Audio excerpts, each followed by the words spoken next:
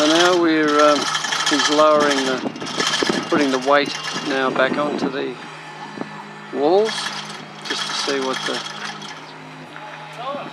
tension is like.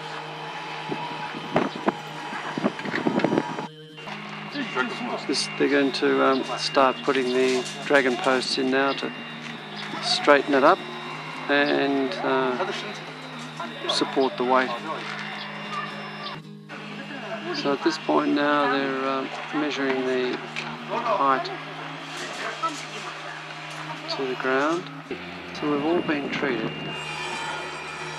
to an icy pop. Even our chief construction engineer on the roof. the cutting of the dragon posts using the traditional saw the height is 3.6 metres from the underside of the hub to the ground. The 4 metres is now onto the top of the hub, so it has already been lowered 400 mil. It is made longer than needed so as it can be cut to length. The Dragon Post designs are made in relief using green bean powder. It's better than using plaster as it's uh, more stable evidently.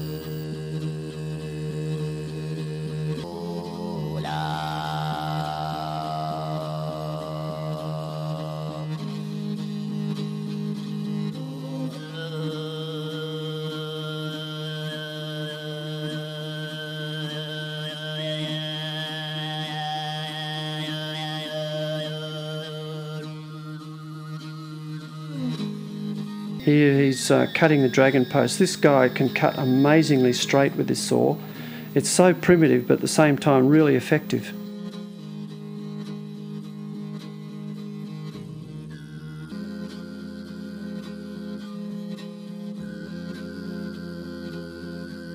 The fitting of the connecting bracket is really simple and they're just nailed to the top end in this fashion.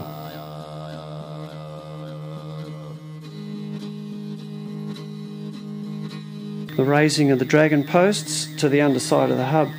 Here it is, uh, with a right angled bracket housed into the corner of the main member, making sure that they are oriented correctly with the dragon head facing inwards each time. This is evidently to hold the energy inwards and also assisting the focusing of attention towards the centre. The honouring of the dragons is important as you can receive wealth and continued support. The block and tackle can now be removed along with the beam and the tripod.